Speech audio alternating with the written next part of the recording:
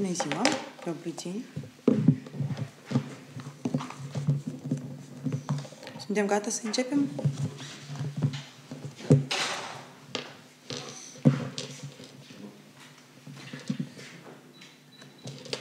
Bună ziua tuturor, stimați reprezentanți ai mass media, stimați cetățeni, vă mulțumim pentru interesul manifestat față de briefingul nostru de astăzi. Vă salutăm din numele fracțiunii noastre parlamentare a Partidului Șor, în frunte cu domnul Ilan Șor și vrem să atragem atenția dumneavoastră la un subiect extraordinar de important, mai ales în perioada aceasta de timp, când toată lumea se pregătește de uh, sărbătorile importante pentru societatea noastră, dar și având în vedere criza profundă în care s-a pomenit țara noastră, Republica Moldova. Echipa noastră a Partidului Șor întotdeauna a pledat și va pleda mai departe pentru echitate socială. Nu doar că am promovat, dar am și susținut acele inițiative care erau în sprijinul oamenilor și aveau scopul de a le ușura viața. Vreau să vă aduc aminte tuturor că fracțiunea noastră parlamentară întotdeauna a votat cu toate fracțiunile din Parlament, chiar dacă mereu am fost în opoziție.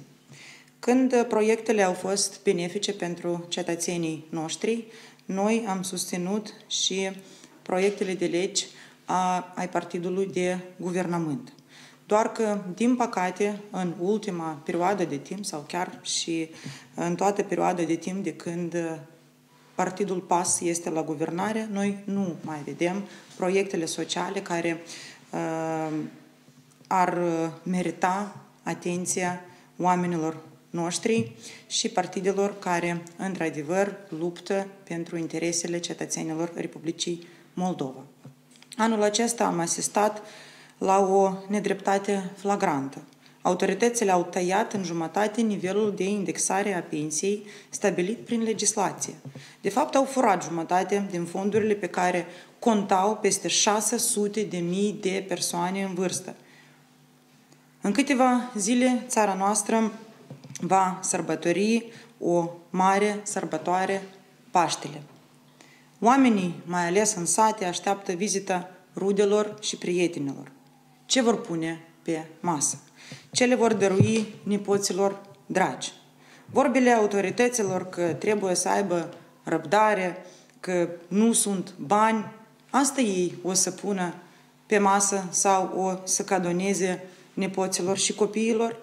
Oare pensionarii ar trebui să le spună asta celor dragi? Sau ar trebui să-și așeze copiii la o masă de sărbătoare pe jumătate goală, pentru că cineva din guvern nu vrea și nu poate să muncească?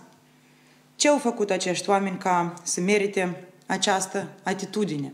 De ce în alte țări despre care vorbește atât de mult Maia Sandu și PAS, atitudinea față de pensionari este cu totul altă. De ce pensionarii noștri din Republica Moldova sunt mai răi sau cu ce sunt mai răi? Este o rușine pentru guvern să-i priveze pe pensionarii de drepturile lor, să-i priveze de mică plăcere de a-și mulțumi nepoții cu cadouri modeste și o masă îndestulată. Partidul Șor a elaborat un proiect de lege care prevede o plată unică de 3.000 de lei pentru toți beneficiarii de pensii și indemnizații ale căror venituri nu depășesc 5.000 de lei. Pensionarii au făcut atâtea lucruri bune pentru țară, pentru noi toți. De ce statul nu ar putea face ceva important și util pentru ei, măcar o dată pe an?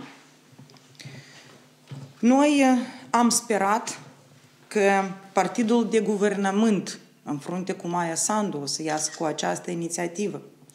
Noi am auzit că au fost astfel de păreri în fracțiunea Partidului PAS și au fost mai mulți deputați care au fost pentru această inițiativă legislativă.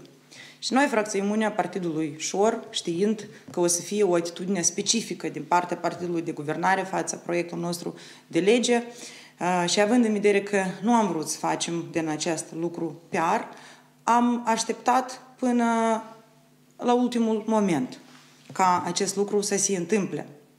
Sincer vă spun, aveam așteptări că ieri Maia Sandu uh, o să iasă totuși cu ceva important pentru națiunea noastră.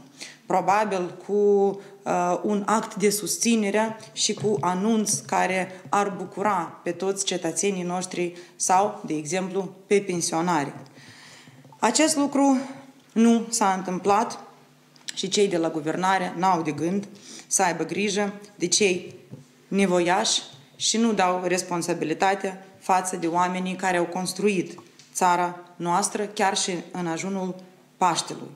Noi totuși sperăm că inițiativa noastră și propunerea noastră o să fie luată în considerare, mai ales că noi cunoaștem foarte bine că când partidul de guvernământ uh, are de gând să voteze un sau alt proiect de lege, ei fac acest lucru cu viteză lumii.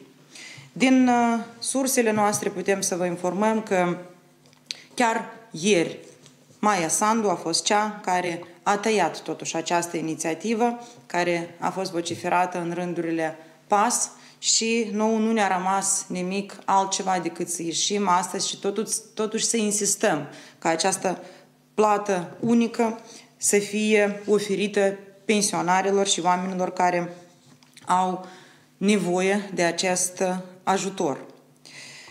Noi credem că există mecanismele necesare și chiar dacă astăzi este marți, avem suficient de timp ca acest uh, proiect de lege să treacă prin comisiile respective, să fie avizat de guvern și să fie inclus în mod urgent în ordinea de zi a Parlamentului pentru săptămâna aceasta. De ce am luat decizia să ieșim astăzi?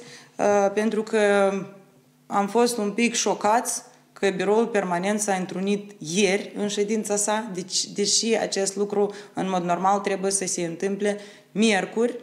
Uh, și până atunci toți deputați, ca și toate comisiile parlamentare, au posibilitatea să mai vină cu careva inițiative care trebuie să fie incluse în ordinea de zi. Din câte ați văzut și dumneavoastră, în această ordine de zi nu se regăsește nimic din punct de vedere social și nu se regăsește nimic ceea ce poate să fie utilizat în folosul cetățenilor.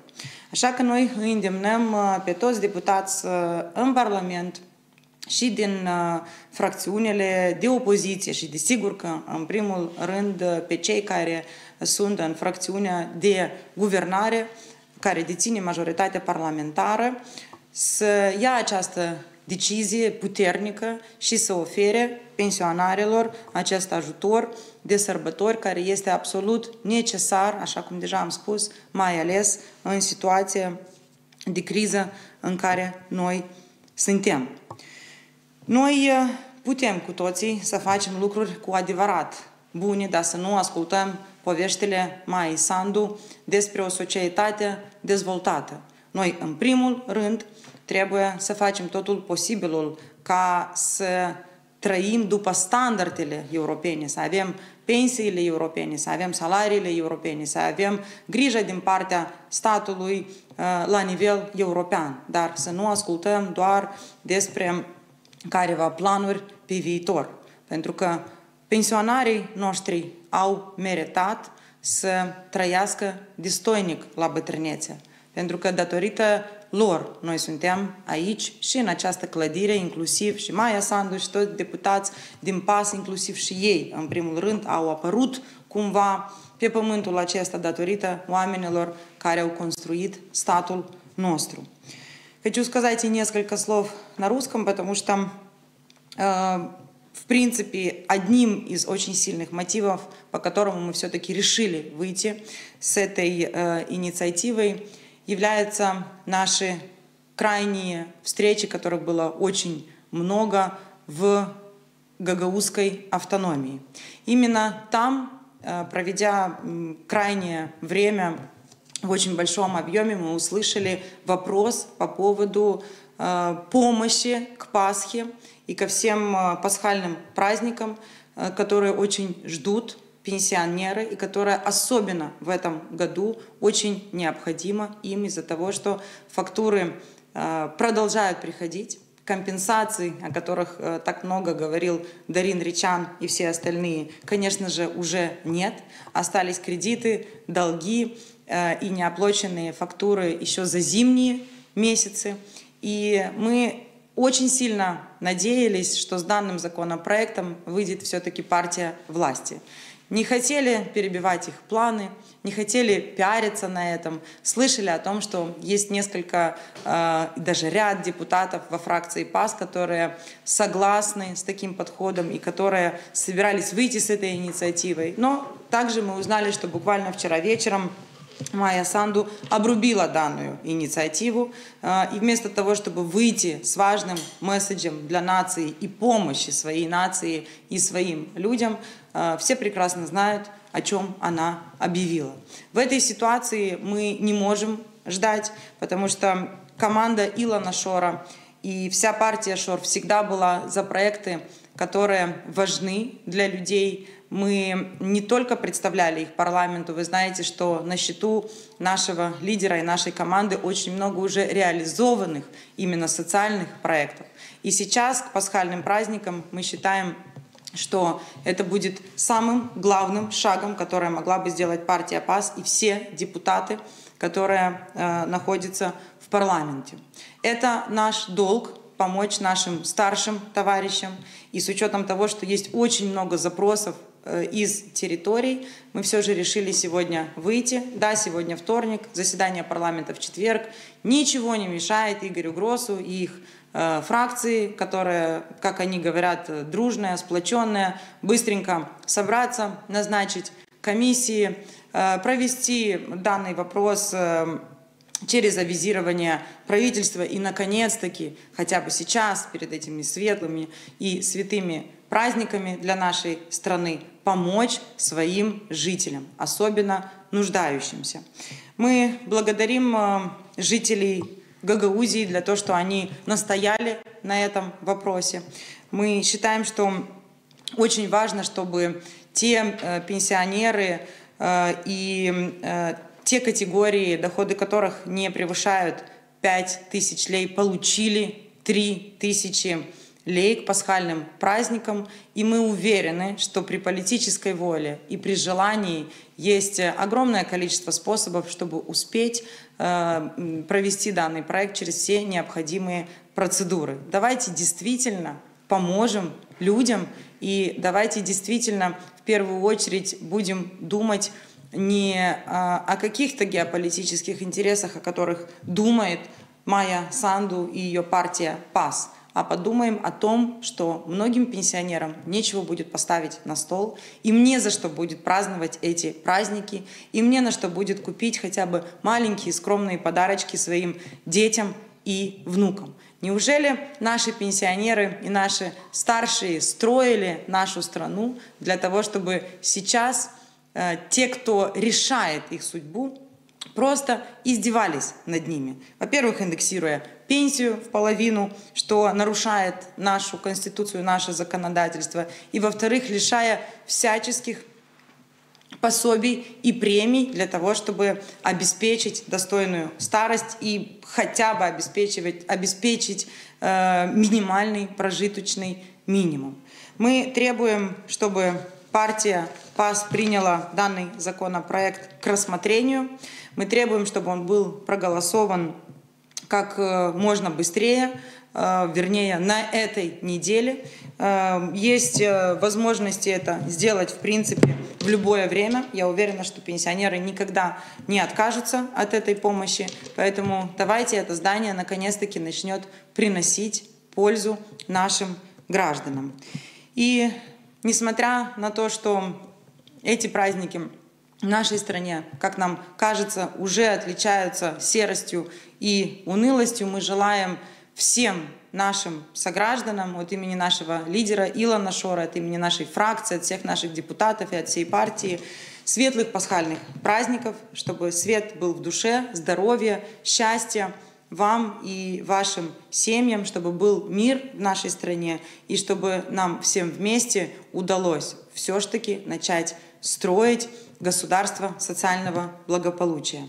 Dragi cetățeni, profitând de această ocazie, noi vrem să vă felicităm cu sărbătorile care vin, cu sărbătorile importante pentru țara noastră. Vă dorim multă sănătate, vă dorim răbdare, puteri, vă dorim ca familiile dumneavoastră să fie fericite și ca noi să trecem prin această perioadă complicată cu toți împreună și să începem construirea statului de drept, cu adevărat de drept și statului în care oamenii o să beneficieze de grijă socială. Vă mulțumim foarte mult pentru atenție și vă dorim o zi bună tuturor! Александровна, планирует ли движение за народ участие в митинге 21 мая, анонсированном президентом Санду? Как вы уже, возможно, видели или слышали сегодня, наш лидер Илон Шор выступил с заявлением о том, что, несмотря на все несогласия, мы будем 21 мая на площади наша партия примет участие в данном мероприятии. И э, также повторю слова нашего председателя Илона Мироновича о том, что мы призываем все партии, которые не согласны с данным подходом, выйти на площадь и принимать там решения, но всем народам Республики Молдова, а не только той частью, которая Майя Санду заставит административным ресурсом выйти туда и говорить то, что э, будет продиктовано партией ПАС. Как сказала госпожа Санду, э, именно на площади национального собрания принимаются важные решения. Так давайте эти важные решения будут приниматься всеми гражданами Республики Молдова, в зависимости от того, какие у них интересы. Потому что деление людей на хороших и плохих, которые поддерживают Майю Санду и которые поддерживают, может быть, другой курс, нейтральный, курс нашей страны, может быть совсем другое видение на ее развитие. Поэтому мы считаем, что это очень важный шаг со стороны нашего формирования, это очень ответственный шаг, и очень бы хотелось, чтобы абсолютно все партии были там 21 мая и высказывали свое мнение именно на площади Национального собрания, которое, хочу отметить и напомнить Майе Санду, все-таки принадлежит гражданам, а не партии ПАС. И именно на этой площади мы очень много раз пытались высказать наше мнение. Нам это не дали. Так давайте тогда попробуем 21 мая со всеми оппозиционными партиями. Дело даже не в оппозиции. Пусть люди действительно выскажут свое мнение, какое оно у них. Поэтому ждем всех наших сограждан, еще раз пользуясь случаем, и спасибо за, вам за вопрос, 7 мая на том протестном движении, на акции национального сопротивления, которая была анонсирована движением для народа в 13.00 у парламента. И после 21 мая мы встретимся с вами на площади Великого национального собрания. Еще раз благодарим за внимание. Всем хорошего дня. Вазибуна Тутурор.